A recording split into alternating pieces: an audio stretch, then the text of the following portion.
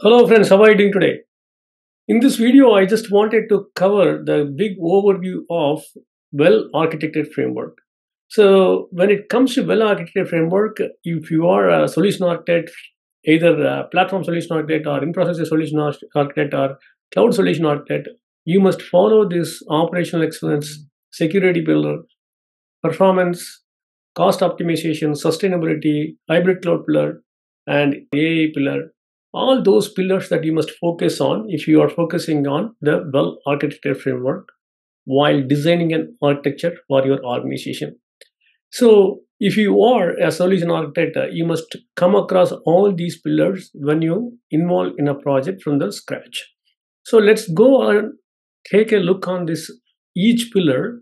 So, basically, when it comes to this well architected framework, it is not going to be sticking with one particular cloud service provider it is going to be different for different cloud service providers. For example, if AWS is uh, talking about well-architected framework, they focus on operational excellence, security, performance, sustainability, cost optimization, all those steps.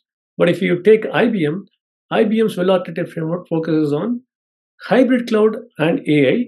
And top of that, they have very strong presence in sustainability and all other areas like operational excellence, performance, and uh, reliability, all those focus areas. And if you take Azure or Google Cloud, they also have their own strength and they talk and present as a strong area in well-architected framework. So when it comes to solution architect, irrespective of all these service providers, you must focus on the core areas which are required for your application to run fine in any environment, either it is a cloud or on-premises or anywhere, edge server or anywhere. So let's take one by one and go with a clear understanding of what exactly this well-architected framework means. Okay. So when it comes to well-architected framework, what exactly it means? If you are planning to architect a solution for your organization or for your customer, the first thing you must keep in mind is it has to be reliable and the solution must be adhering to all the principles of architecture so that is the key area that you, ha have to keep in mind if you are a solution architect. And what are all those key areas to keep in mind? One, the operational excellence. And second one is the security. And third one is reliability. And fourth one is sustainability. And fifth one is cost optimization. And sixth one is hybrid cloud. And seventh one is AI architecture. So this well architected framework will go beyond uh, a particular limit because when the technology evolves, this well-architected framework will go accordingly. So here in this video, we are going to talk about each pillar at high level and see what benefit it is going to add for your architecture design. So let's take the first one is operational excellence or operational pillar. So the operation pillar is common for most of the cloud service providers. Even if you are not uh, deploying your application in any public cloud, if you are using private cloud, in that case also, this operational pillar will play a major role. So as a solution architect, what exactly you will do here, when you design the solution for your organization, you must take care of all the day zero, day one, and day two operations in your application. For example, if you are planning to migrate your legacy application, which is running on the private cloud or uh, on premises, to a public cloud, what exactly you consider when you think about this operational excellence pillar. So you must know what type of operations details. For example, if you are deploying the application in a public cloud, how that will scale, how that will work fine and what are all the automation areas to focus on? And how do you configure the application to run fine? And what type of uh, mechanisms that you implement to do a code push? And what type of mechanism that you are going to do for the deployment? And what type of mechanism that you are going to uh, do with your application so that it will run fine and perform better for your organization? So when it comes to the operational excellence, you must think about the cost optimization as well. So when you are planning to implement this operational excellence pillar for your application, or platform or infrastructure, you must think about how to spend the money effectively to utilize all these operational excellence configurations. So that is one thing that you must keep in mind. And second one is um, the security pillar. When it comes to security pillar, you must think about the security across all the levels, starting from your application UI and the platforms level security, infrastructure level security, and the entire uh, region level security and zone level security. All those things you must consider. Also, when it comes to the application which is running on any of the platform, what type of application level security, log flow, network security, all those stuff you must keep in mind. And make sure that when you implement this security pillar in your organization or architecture, you must also think about what money that you are going to spend for implementing this uh, security uh, pillar and how that is going to impact your overall cost. So, as a solution architect, you must keep this in mind whenever you implement any uh, well architected framework you must keep the cost optimization across all the pillars so that you can save a lot of money for your organization. And third one is reliability. So what exactly the reliability pillar means? The reliability is ability of your application platform or infrastructure that can run without any disturbance to your organization, even if the failure occurs across all the levels. Suppose if you are, uh, if you take application layer, if the application fails due to some reason, your organization business should not get impacted. And also, if your platform fails for some reason, your application and platform should run fine. And similarly, if the infrastructure fails for some reason, the infrastructure, platform, and application should run fine without impacting the business. So this is the reliability, the ability of the system uh, to run fine even in the failure scenarios. So when you consider this uh, reliability pillar, you must keep that in mind how many instances of the application that you are going to create, how many zones you are going to create, how many regions you are going to create, how you are planning your uh, disaster recovery mechanism, how the RTO and RPO is going to play a role in this uh, well architected framework. All those things you must consider. And the next thing is cost optimization while implementing the reliability plan. So, as I said earlier, you must keep this cost optimization across all the well architected framework pillars so that you can save a lot of money for your organization. Uh, so, for example, if you are taking to implement a reliability by having this uh, multiple regions, multiple zones. You must consider the logic or the algorithms provided by the public cloud service provider.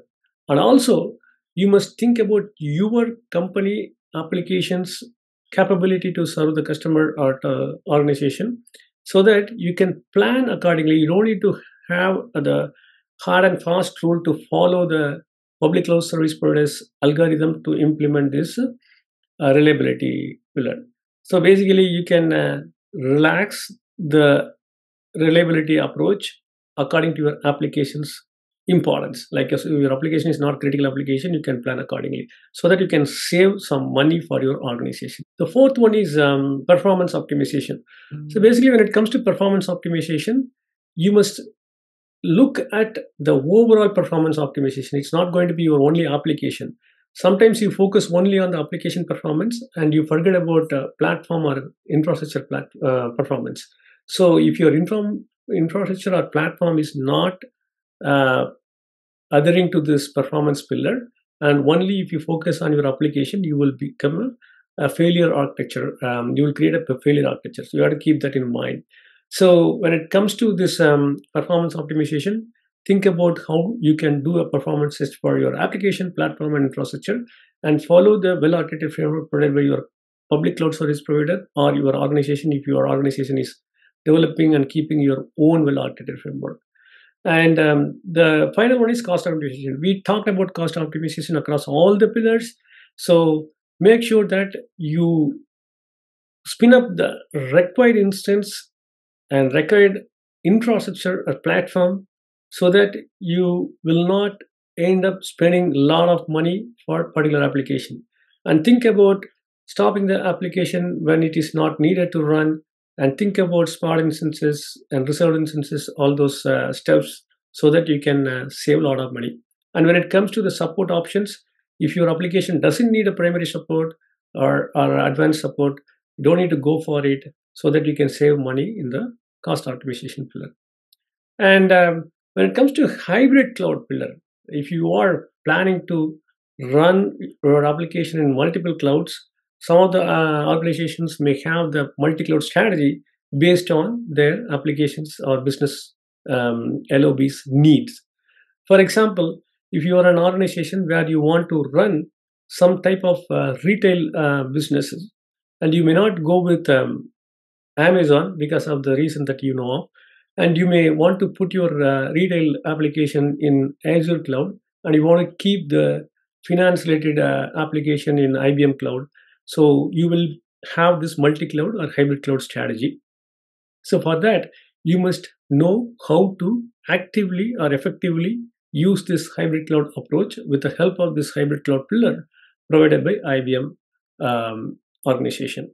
So when it comes to hybrid cloud, you know that you can manage the workload which are running in multiple environments, including private cloud and public cloud or on premises, so that you will have a single pane of glass where you can see all the applications which are running in different clouds in one view. Also, you can control, monitor, configure, deploy in a single view way so that your developers, administrators can have better life compared to managing the applications which are running in different cloud with a different monitoring capability, different application performance monitoring capability, different resource management capability. In order to avoid all these uh, hassles, you can think about going with a hybrid cloud approach with the help of the strong platform, Red Hat OpenShift Container Orchestration Platform, so that you can manage your applications which are running in different cloud environments.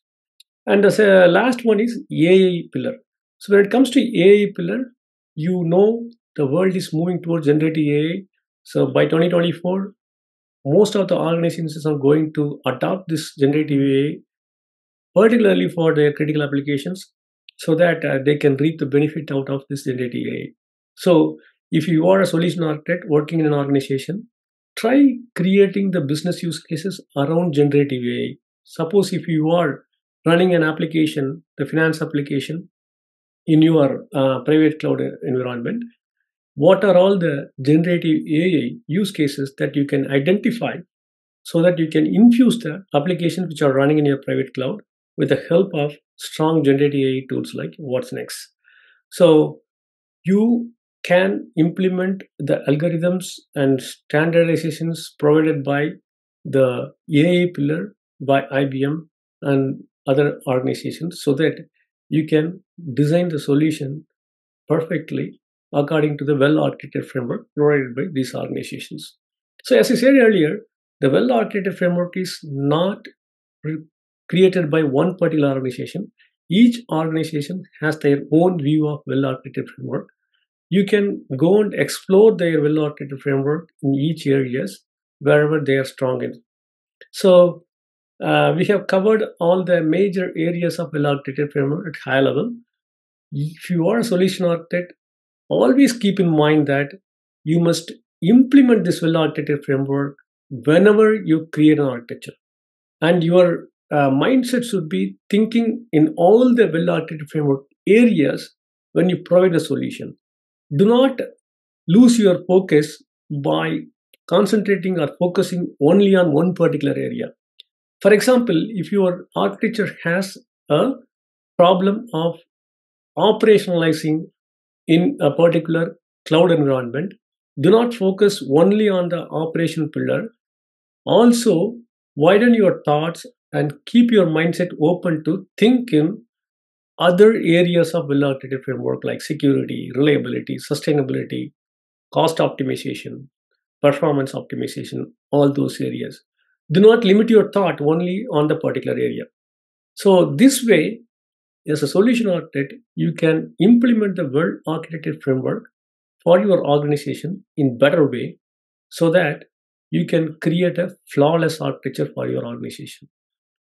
Hope this video is helpful to know about what are all the well architected frameworks available in this world and also these well-architected frameworks are not limited to a particular company.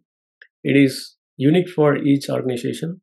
And if you are dealing with a particular organization where a set of well-architected framework is followed, follow that and make sure that you implement this well-architected framework for every architecture that you create. That will be a perfect solution for your organization. Hope you like this video. Like this video, give a thumbs up and share it to your friends so that they will also get benefit out of it. Take care. Bye.